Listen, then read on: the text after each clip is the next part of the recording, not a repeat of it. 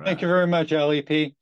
Hi, everybody. Welcome to uh, Nadia and Bill's study. Unfortunately, Nadia is ill. Uh, she lost her voice, so she couldn't do it. So uh, she's doing okay. So she's fine. You know, just she's lost her voice. So she asked if uh, I could sit in for her and, uh, you know, try to keep Bill under control. So uh, wish me luck, everybody. But we're on page 25 today. Now we're we're in there is a solution. Now you got to remember that the title of this is there is a solution. These people knew of one solution. You know, if they knew of more solutions, they would have put there are numerous solutions, but they put in here there is a solution, one solution that they know about, and they're going to talk about it. You know, one of the greatest slides that I ever put up that I enjoy is that this book is not the treasure. This book is the treasure map, and it will take you to the treasure. Which I, I when I first saw that slide, I thought that is brilliant, because it meant so much to me. Because, you know, if we do the work, we will get the rewards. If we don't do the work, or if we only go part way through, we're only going to get part of the rewards. Okay, we might say it's over for a short period of time. But if we go through and do what the first 100 did, we should get the same results. And that's what this is all about, is going through the 12 steps, getting our spiritual awakening, our spiritual experience, becoming to rely on somebody else instead of ourselves. Stop being so selfish and self-centered you know, a whole new way of living. And that's what we're going to talk about right now. So right at the bottom of page 25. Bill, is there anything you wanted to say before we start I start reading for you? You you brought up a real good point when you said that. Because lately, because I've discovered the great reality is deep within, it's almost like I flip coins and I've been at odds with the great reality deep without, which is just a different myriad of agnosticism and what dawned on me is the point of contact is on the inside. God is everywhere, everything, and He's a part of us. But we have to go inside to make the point of contact to have that experience. And like you said, treasure map, treasure, treasure chest, but I don't have to go anywhere. I have to do certain things because the treasure is deep within me, but I'm blocked from it, which is the solution they discovered is only one solution, Rob. It wouldn't matter if they said we had many, it would all go back to one. The solution is access to the power. The problem is selfishness and self centeredness, which is blocking me access to the power. So, no, that's good. Go ahead, read on. Well, you know, the, that, that brings us to another point is that a lot of us, when we come into the fellowship, well, they think it's find God and everything will be fine. if that was the case, then it would be a one-step uh. program. Find God, and then you're you're doing that's it. But there's blockages that are, are blocking us from our higher power. And we have to get rid of those blockages. Now, everybody goes, Well, where is God? You know, how do I find him? Well, in 30 pages from now is where we're going to find that God is deep down inside each and every one of us which is, is a beautiful thought. But it, it, you know, Bill is bringing us along slowly. Okay, and I'm talking about Bill Wilson, not Bill Swan. You know, it's bringing us along slowly in order to because a lot of us come in with prejudices that we have to sweep aside. Okay, we have to get rid of the old ideas that we have about what our higher power was or is. You know, we're taught from an early age that God is a punishing God. Don't do that, or God will be mad at you. Don't do that. Okay. It's a control, you know, we're taught that it's a controlling God.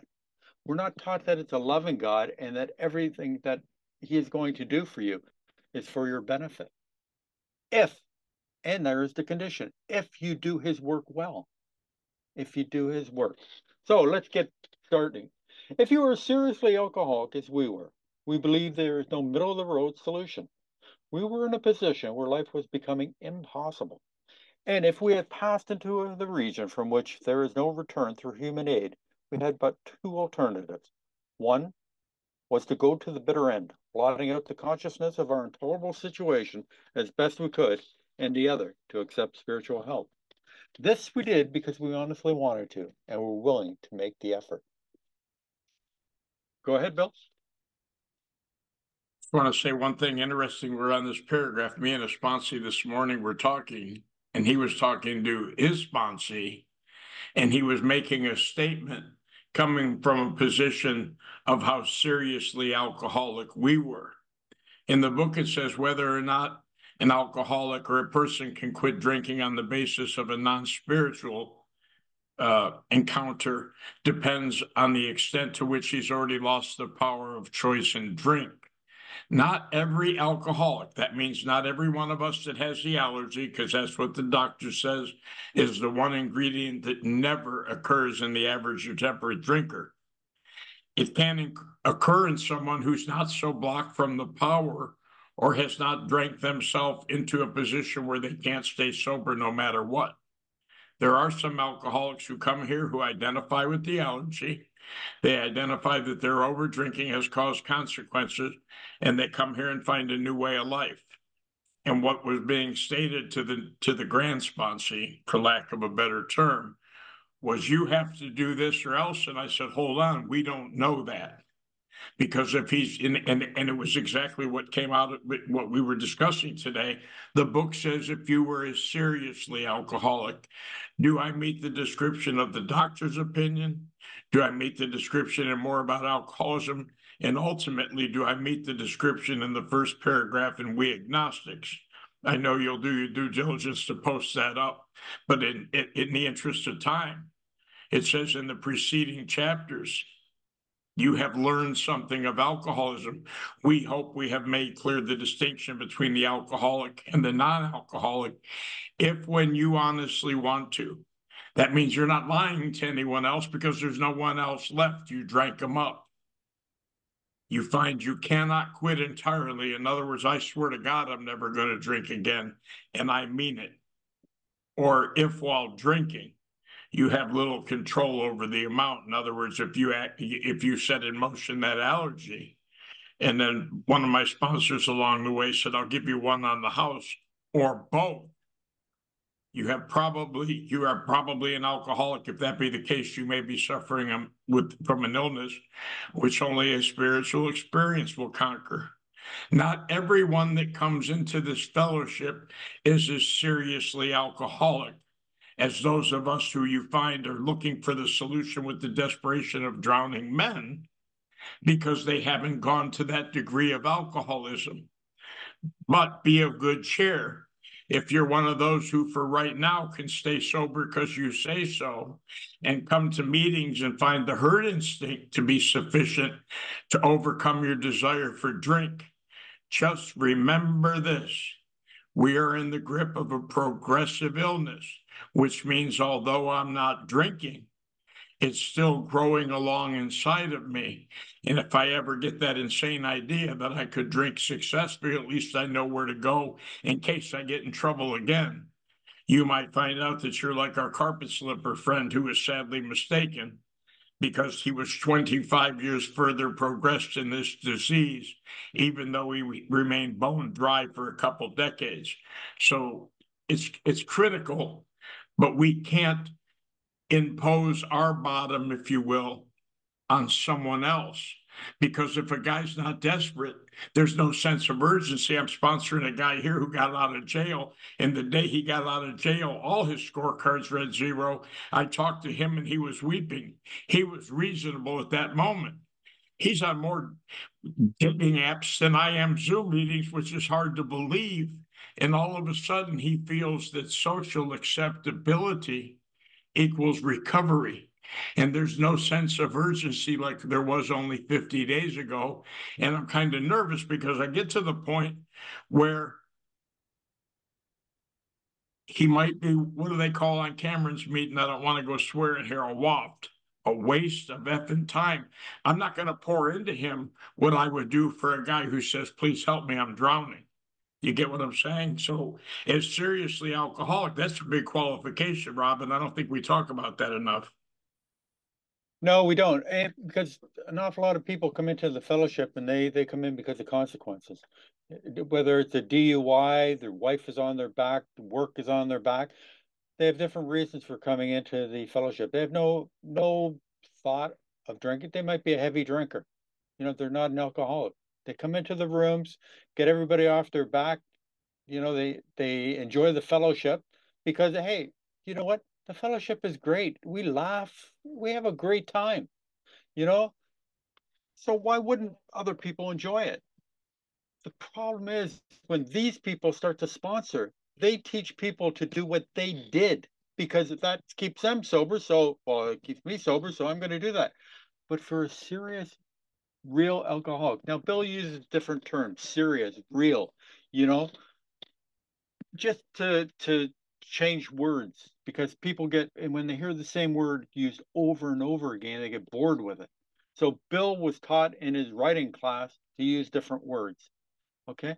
And that's why we you know all through the book we'll have shortcomings uh you know and defects of character. I mean exactly the same thing you know but bill just wanted to use different words now bill also took us to page 44 and the two questions every alcoholic has to ask themselves can I quit on my own? And when I start, do I keep going? You know, but right now we're in the book, and what Bill's trying to do is trying to teach us about alcoholism. What makes a what makes an alcoholic? Slowly brings us to that point. Now we're going to get into a certain American businessman. Top of page 26, everybody. A certain American businessman had ability, good sense, and high character. For years, he had floundered from one sanitarium to another. He had consulted the best known American psychiatrist. Then he had gone to Europe, placing himself in the care of a celebrated physician, the psychiatrist, Dr. Jung, who prescribed for him. Though experience had made him skeptical, he finished his treatment with unusual confidence. His physical and mental condition were unusually good. Above all, he believed he had acquired such a profound knowledge of the inner workings of his mind and its hidden springs that relapse is unthinkable. Nevertheless, he was drunk in a short time. More baffling still, he could give himself no satisfactory explanation for his fall. Bill, you want to jump in there, or do you want me to say a few things and then you jump in? Uh, well, I mean, here's the funny thing. Sometimes I know what's going to happen at the end of the story, so I want to get there quick. But when when I'm listening to you read it and I'm reading along, certain things start to come to me that I've otherwise missed many times, and not because I wasn't looking, it just wasn't revealed. Um, but as you know, and I expected you to say this, so we're talking, not only is this a story for our experience, this is part of the history of Alcoholics Anonymous, a very important part. The gentleman Huge. we're talking about here is, I'm surprised Rob doesn't have his whole autobiography posted yet. This is I did. I just put in some. I just put in some pictures, but I haven't. Of put, course you did. Okay, so this is our good friend Rowland Hazard. Rowland Hazard stood to inherit a lot of money. Came from a very prominent family. They were involved in steel or canning or whatnot, and very wealthy. And he realized that he was an alcoholic.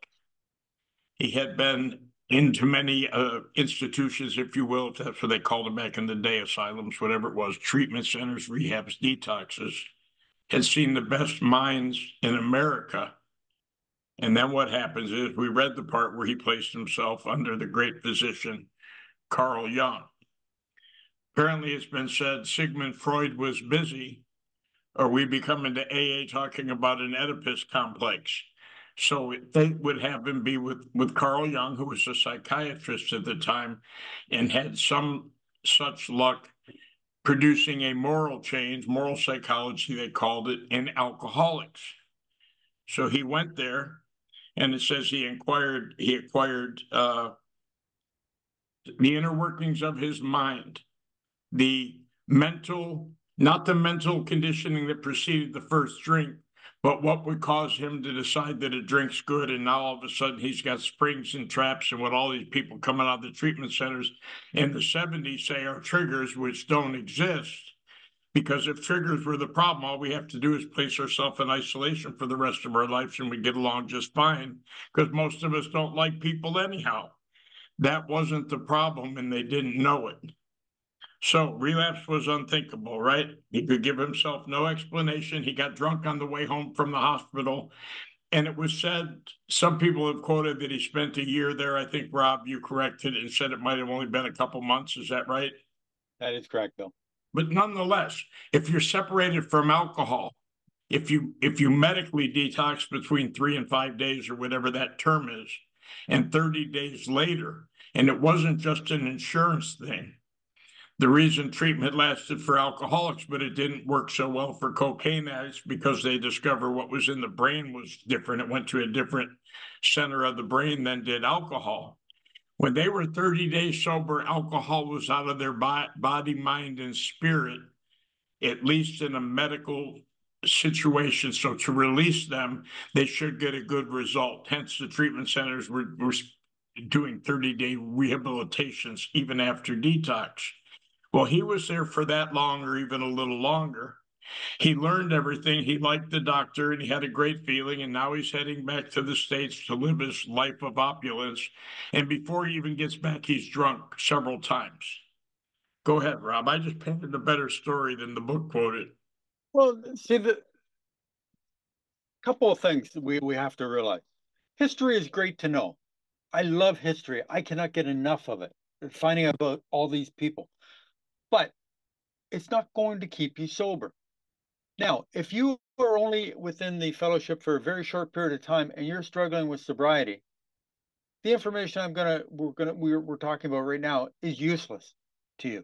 What you what if you're just coming in, you need to know about I'm what am I suffering from? Allergy, phenomenal craving, and the obsession of the mind. That's what makes me alcoholic.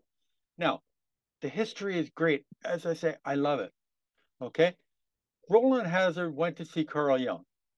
As, as Bill said, Rowland Hazard went to see an awful lot of people. Courtenay Baylor. You you name any of the the big names that you've heard about from the 1920s, 1930s, and Rowland Hazard tried them all, and nothing seemed to work. Now, friends of his had gone and seen Dr. Jung, and they had good success, not for alcoholism. They went to see Dr. Jung for other issues, but they thought highly of Dr. Jung. So Rowland thought, well, you know what? Rowland's a rich man. He can afford to, to take the boat from the US over to uh, see Dr. Jung. Now, Bill Wilson, in all his stories, talks about Rowland Hazard went to see Carl Jung, spent a year with him. Rowland Hazard did not spend a year with Dr. Jung in 1931. Rowland Hazard went in 1926 and he spent a couple months there. Saw Dr. Jung, came back, got drunk. Then in 1931, he went back and saw Dr. Jung. And that's when Dr. Jung said you need a vital spiritual experience in order to get better or to change. Because the whole idea is you need to change. We're selfish and self centered, and we have to change. Because all we do is we think about ourselves. What do I want today? What can I get from Cheryl Okay, what can I get her to do for me today? You know what? You know, I need 20 bucks, Cheryl, and you know, can you can you loan me 20 dollars? You know, no, see, and that and the vital spiritual change. And Dr. Silkworth talked about the same thing is trying to change our mindset and the way we think. Instead of thinking about ourselves all the time, I have to start thinking about other people.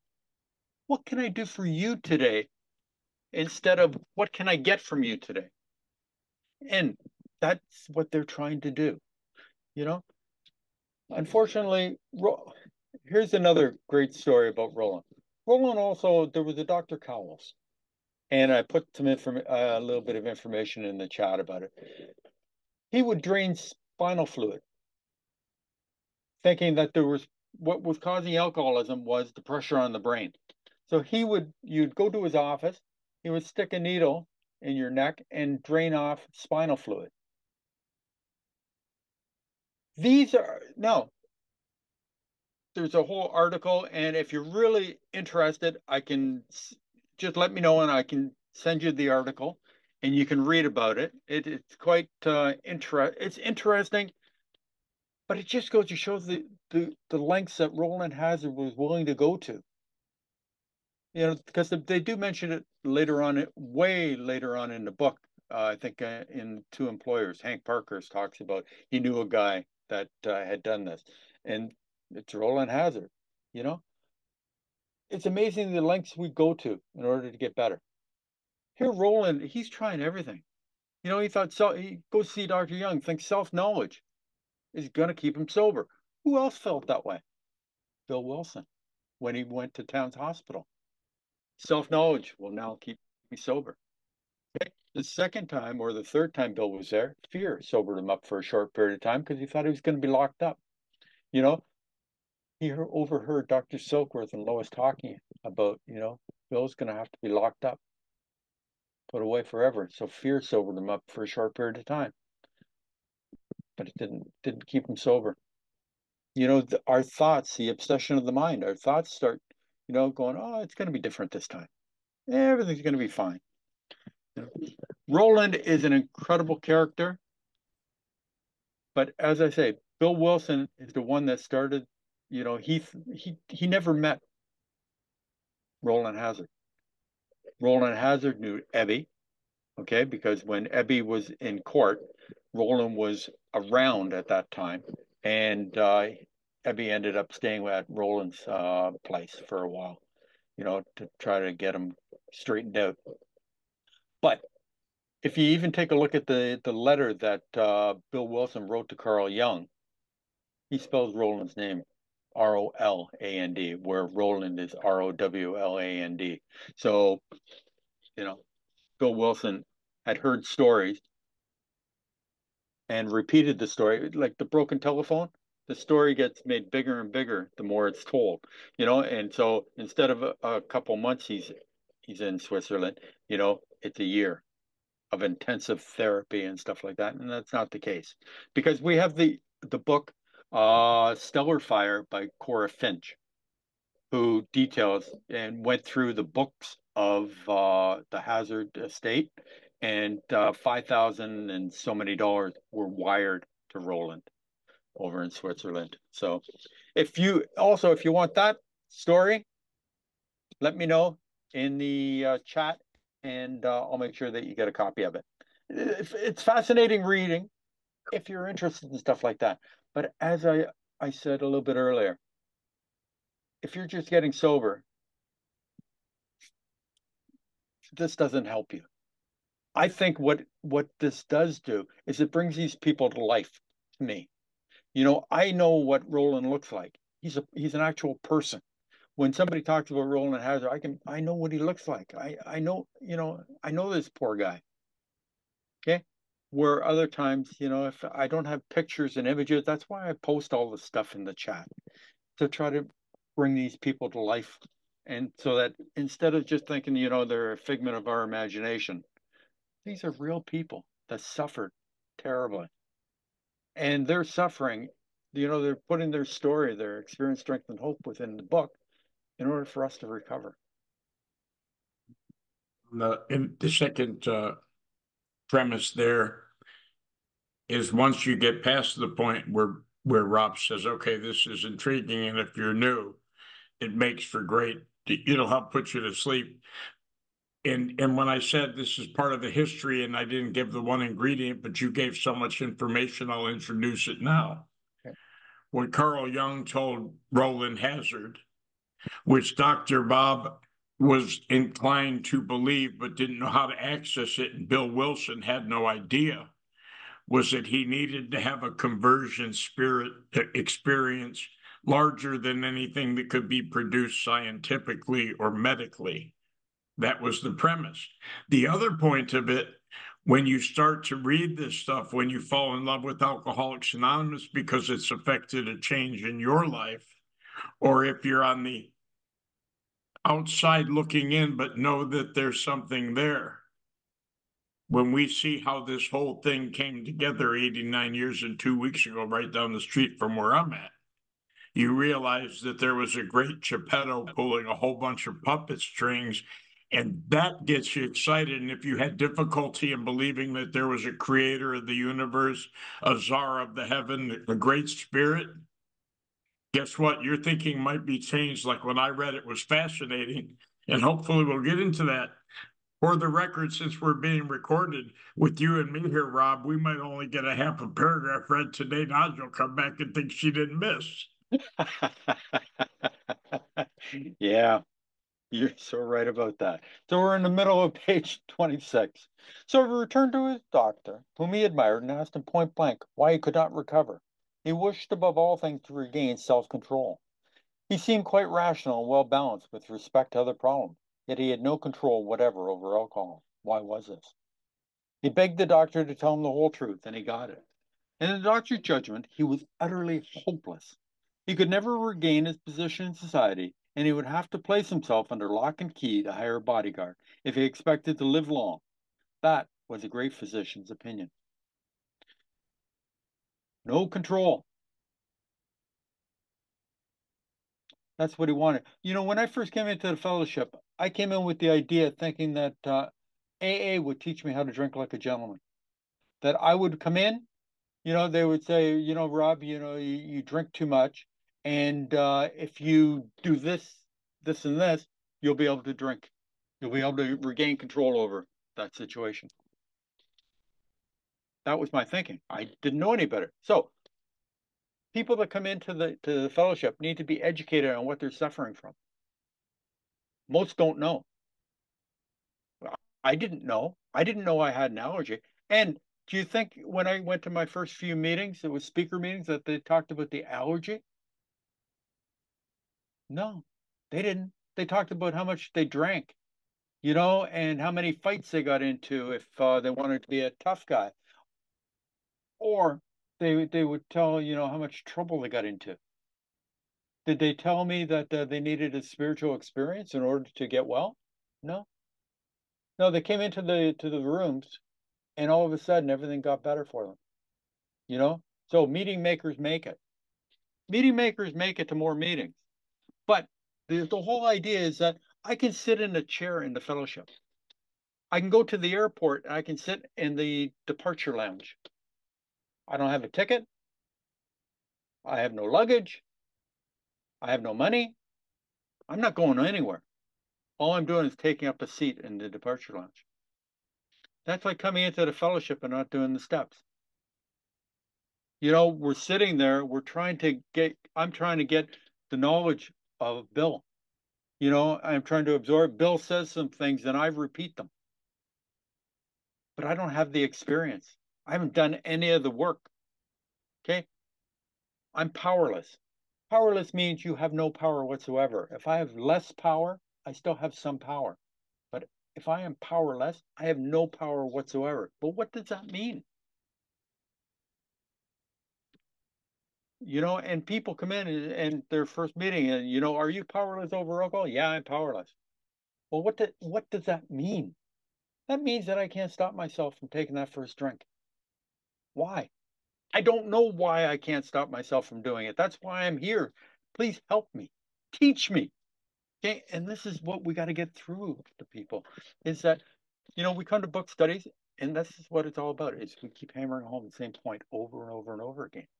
Is that allergy, phenomenal craving. Once I take one, I can't stop myself.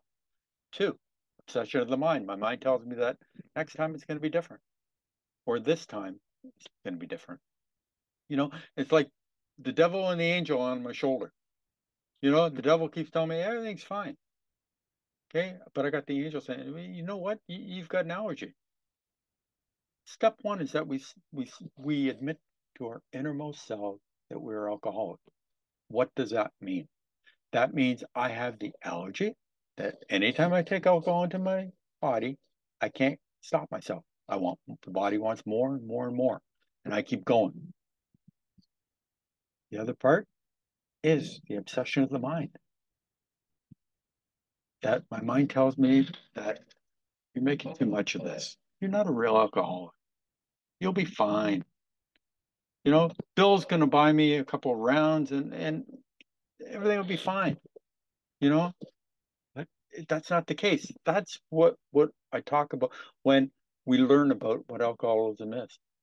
And then on on page 30, which we're going to be get to, well, we probably won't get to it today because I talk too much. But the idea is that we smash the idea that we can never safely take a drink. So that when that idea comes up, wouldn't it be nice to have a beer? Well, you know what? I go, I say to myself, yeah, it would be nice, but I can't because the phenomenon of craving will kick in and, you know, but if I'm not spiritually connected, God, me, connected, relationship, okay? If I have a strong connection, my mind will be okay. And it, I, I will be able to say to myself that, no, I can't. I can't take that drink because I know about the phenomenon of craving. Okay. But if I don't do the things that keep me connected to God, you know, by helping other people, by doing the next right thing, okay, my connection becomes broken. When does the obsession in the mind come back? And my mind will tell me that it's okay to take that drink, and my mind will believe it. I don't know. I don't want to find out. Okay. Connection looks like it's broken from without. And the reality is is that the the breaking of the connection is within. Yeah. Sophie, they go for about 20 more minutes and then we take uh, raised hands for the questions.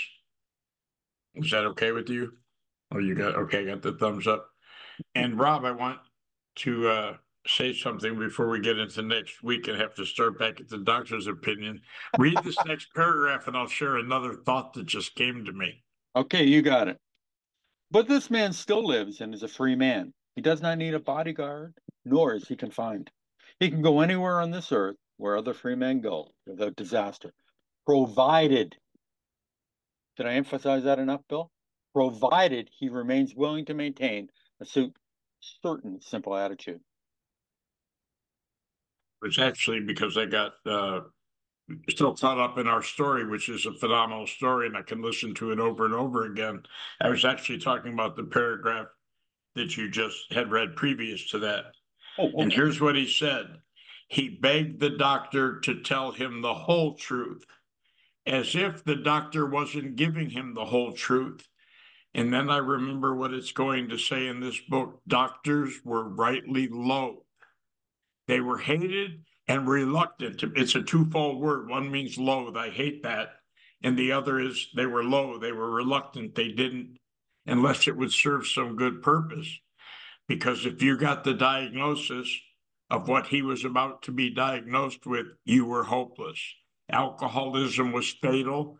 There was no you would you would be locked up or permanently go insane because alcoholics were going into asylums and some of them were never getting out.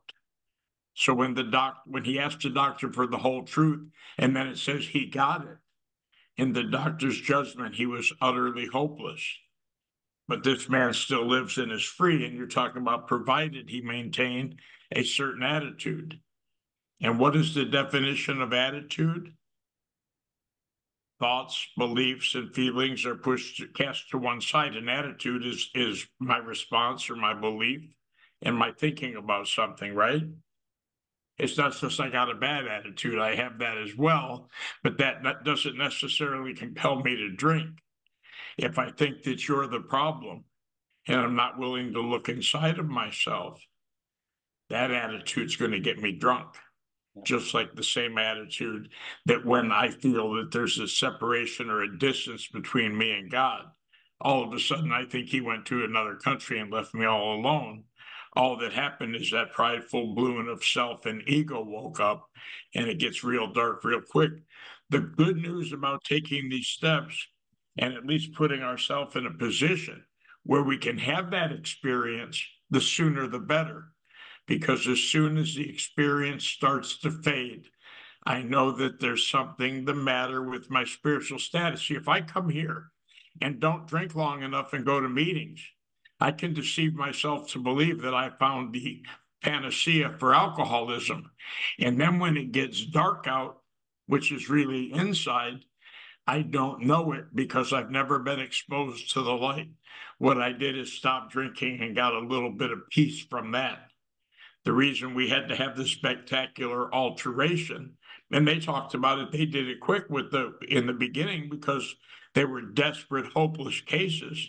But could you imagine being in the dark rock for 40 years and doing something and all of a sudden the sun shining brightly? As soon as it started to fade, you would do whatever is necessary to keep the light burning. You'd be the Motel 6, right? They kept the light on for us. Thank God somebody kept the light on. And that and that's one of the things is that we have to remember too that okay, the book was was published in 1939. A lot of these stories are from the late 1920s, early 1930s. Well, when was Prohibition? 1920 to 1933. Okay, bathtub. Bill talked about bathtub gin. This is gin that was actually made in a bathtub. You know, by a bootlegger. You know, you didn't know what you were getting. Okay. Some were getting raw alcohol and it would make them go crazy. So, yes, some people got locked up because they did actually go crazy.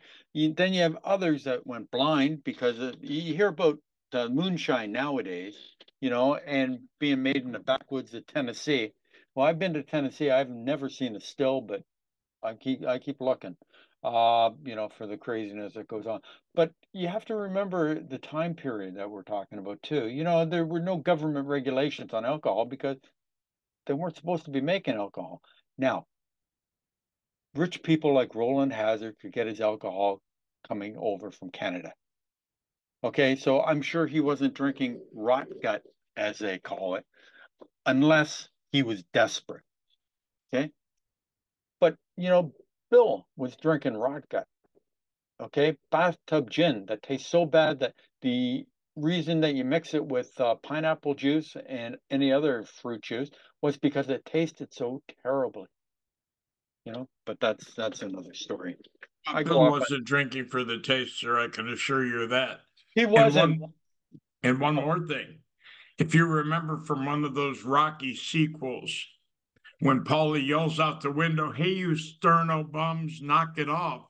I have literally met people in AA who got sober in the 40s that talked about straining sterno and other things through bread when they were in a bottle gang.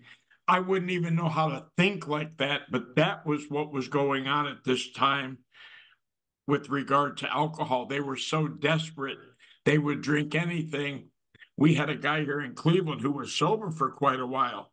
He went out, picked up a drink, and couldn't get his hands on any alcohol. Rob, he drank antifreeze without filtering it.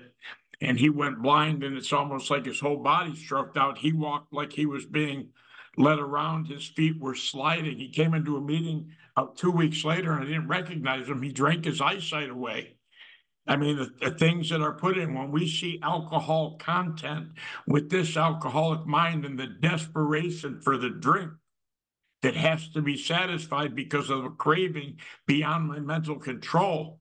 I'm surprised that they have any of that hand sanitizer at meetings. That's like 80 proof. I know. Well, you know, I'll tell you how naive I was when I when I came into the fellowship. Is that uh, I have a uh, a good friend uh, that lives up the street from where I am. His kids and my kids uh, were all around the same age, so they played floor hockey together, soccer, you know, all the different sports. We would get, I would see them at that. And he was telling me about his mother, and his mother was banned from drugstores because she was uh, drinking rubbing alcohol. And I, I had never heard anything that crazy before. And then uh, they talk about mouthwash. And I used to, the one meeting I, I was going to, and one guy, all he, he smelled like mouthwash all the time, which is nice, better than bad breath. But it's like, wow, that is so, you know, it's like somebody that's wearing too much cologne. You know, like, just holy jeez, that's an awful lot of mouthwash, that guy. High proof. And, you know, it's, it's these things that we learn, you know, like, you know, very, uh, you know, the insidiousness of this the insanity. Is I, well, I would I would tell myself sitting here today in a position of abstinence that I would never do that. I have no idea what I'd never do. There was a lot, a whole lot of other things I was never going to do that became did them again and again and again. So mouthwash, vanilla extract, rubbing alcohol, uh, stuff under the counter in your house. Yeah, exactly. If, if it showed a content of alcohol and they felt like they were going to die if they didn't get alcohol in and there was no alcohol, they'd try anything. But I'm telling you, he's just sifted through bread and they talked about the stuff that was in the, the heating cans, that sterno, which is some type of petroleum that has an alcohol base. That's what keeps it on fire. And they would strain it through bread, knowing if they didn't, they were going to go blind and hoping they strained it enough. But I was sometimes so desperate, I don't know if I'd be patient enough to let it strain.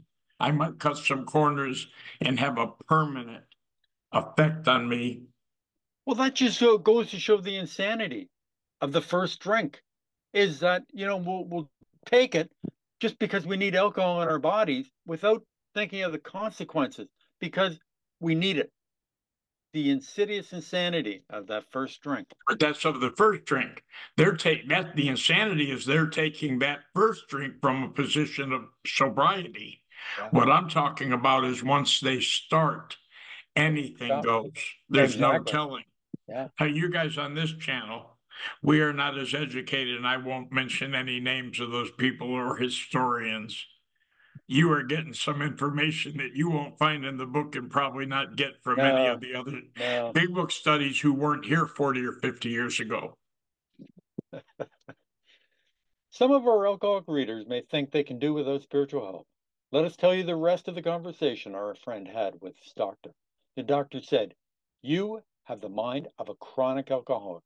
I've never seen one single case recover where that state of mind existed to the extent that it does in you. Our friend felt as though the gates of hell had closed on him with a clang. He said to the doctor, Is there no exception? Yes, replied the doctor, there is. Exceptions to cases such as yours have been occurring since early times. Here and there, once in a while, alcoholics have had what are called vital spiritual experiences. To me, these occurrences are phenomena. They appear to be in the nature of huge emotional displacements and rearrangements. Ideas, emotions, and attitudes, which were once the guiding force of their lives, of these men are suddenly cast to one side and a completely new set of conceptions and motives begin to dominate them. In fact, I've been trying to produce such emotional rearrangement within you. With many individuals, the methods which I employed are successful, but I have never been successful with an alcoholic of your description.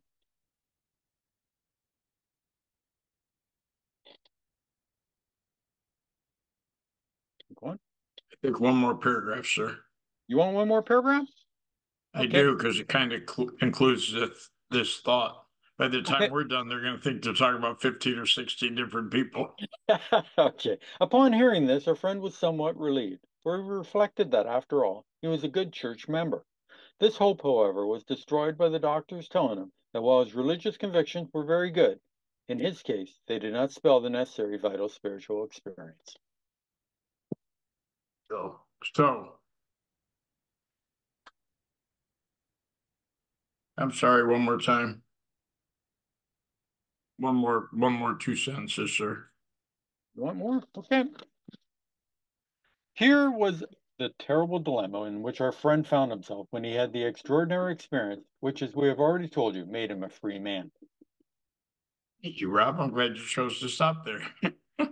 Thanks. First of all, I want to applaud you and thank you very much for what you said with your ambition for history is what it is, because I never knew that Carl Jung didn't specialize in a certain myriad of, of psychiatry that dealt with alcoholics. He had come across them but had you not said that some of Rowland's friends had gone to see him for other disorders that he was able to offer a remedy or a solution, it wouldn't have made sense because then why would Silkworth have been the specialist? Having said that, the amazing part about this story is Rowland is is he gets the diagnosis. You are of the type that I have come to regard as hopeless I've ne- I've never seen. He hadn't witnessed an ability for him to bring about the change that he had done in other alcoholics that weren't as seriously alcoholic as Rowland, but he had heard. Right? He said here and there once in a while. Rowland said, is there no exception? And then he gets a little hope back when Carl Jung says, yes, here and there once in a while. Alcoholics have had these stirring spiritual experiences which have changed them from the inside out. And Rowland said, Great. I was a vestryman in the Episcopal Church. And Carl Jung basically said, You're screwed. That information is not experiential. And what happened was, when he explained to him that here, and he said, Well, what was that about? He said, These alcoholic types that you meet the description of have placed themselves in a spiritual atmosphere. They called it religion. And here's what else I learned. I'll pass it on. Religion and spirituality was synonymous back then not like the definition is today. When they were using the word religious conversion or spiritual awakening, it was a synonymous term, Rob. That's why he said in there, he told them there have been people who have placed themselves in a religious atmosphere and they've had this upheaval, this total rearrangement. And, and Rowland says, I must have that. Where can I find it? And that's where the hopelessness came in. Carl Jung said to him, I don't know. And in that book that you and I both love, Bill W., the first 40 years, he said, You place yourself in that, at- if you can find one, you place yourself in that atmosphere and you can only hope. He couldn't guarantee if he found the, the garden.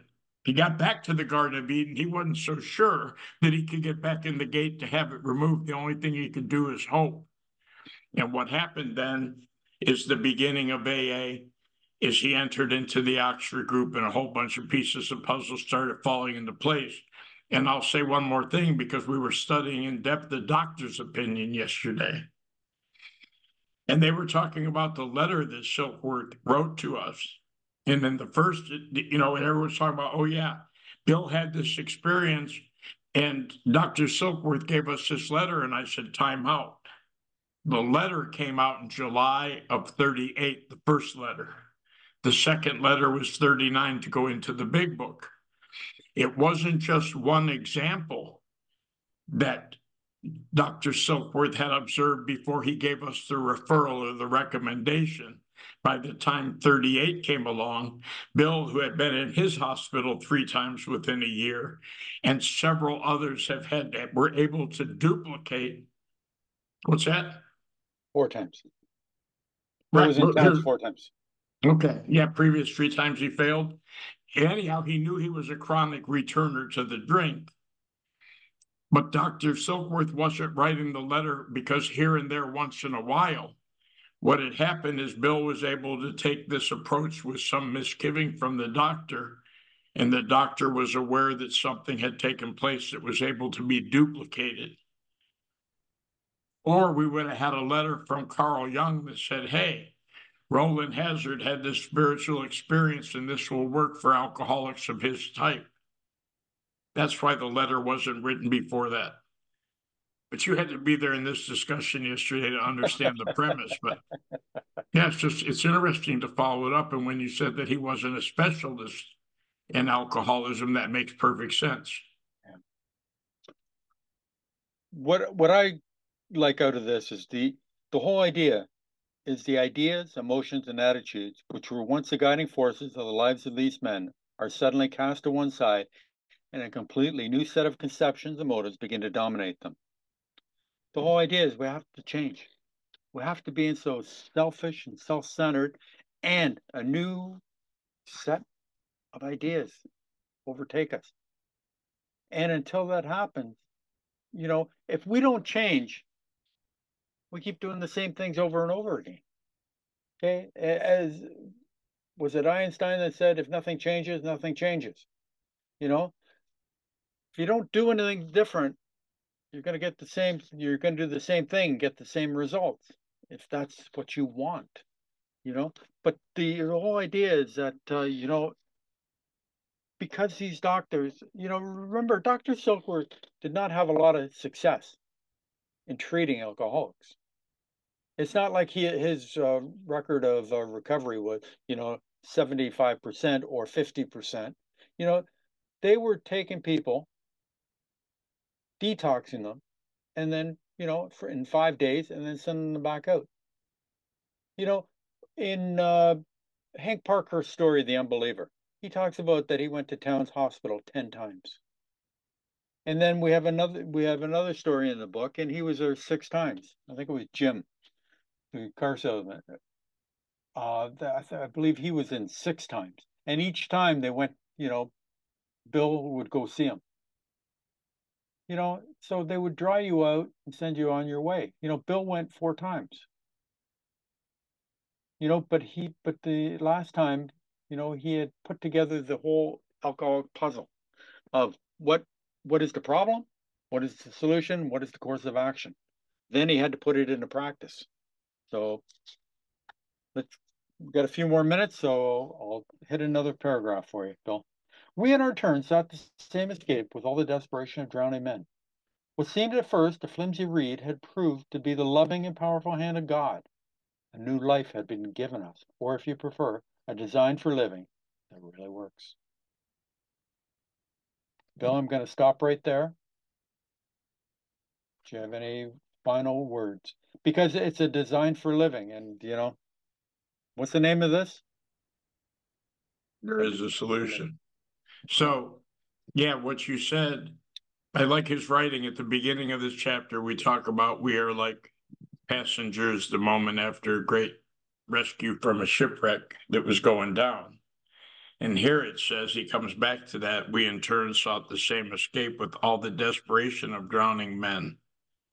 What seemed at first a flimsy reed, so there's really no answer. But we're going to try this because we, we try. The reason we don't believe there's an answer is desperate is when you keep trying things that don't work and you go back to the abyss, you start to lose hope. In fact, the doctor's opinion says our problems pile up on us becoming astonishingly difficult to solve, we lose faith in ourselves and even in humanity and even in the power.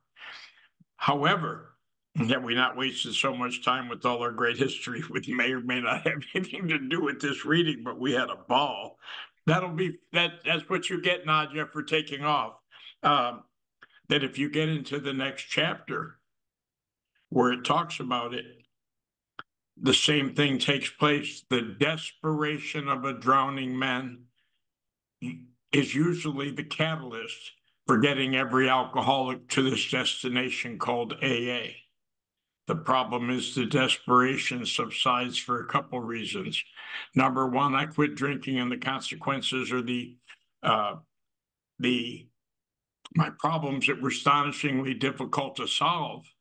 All of a sudden, I could solve them. I might be a I might be a bear of a guy. I might be very restless, irritable, and agitated when I'm doing it. But I'm not under the influence of booze or in a drunken state that I can't show up. And the second, probably most important, is the recuperative power of the alcoholic ego. And what comes back after a few weeks of me being sober is I don't miss it at all, feel better, work better, having a better time inwardly I would give anything to jump into a bottle of whiskey because I can't stand crawling in my skin sober.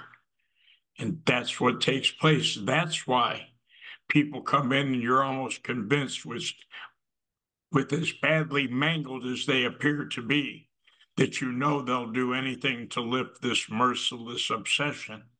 And no one's more surprised than them when they go back out and pick up a drink because they either were unblocked momentarily or at best it was a temporary surrender, which had no lasting effect. And then they had no effective mental defense against the first drink. And they convinced themselves, part of the disease, I suppose, that because they were able to stay sober for three weeks or three months, they'll be able to do it again if they ever get that bad. It's just what an insidious disease. It uses our own mind. I was thinking about it. It's like I got conversation going on in my head between the liar, which gets me to take a drink, and the guy who's almost lost all ability to recognize truth. Neither of those mindsets have the ability to do anything but get me in trouble. Because, like in the movie The Shining, take away al- alcohol, give me no substitute and all work and no play makes Billy a dull boy. I'm done, Rob. Thanks very much, Bill. Appreciate you. And we'll close it out with the Serenity Prayer. And if you want to mute and follow along, or if you want to say just for yourself, God, grant me the serenity to accept the things I cannot change, Accept the things I courage to change the things I can, and wisdom to know the difference.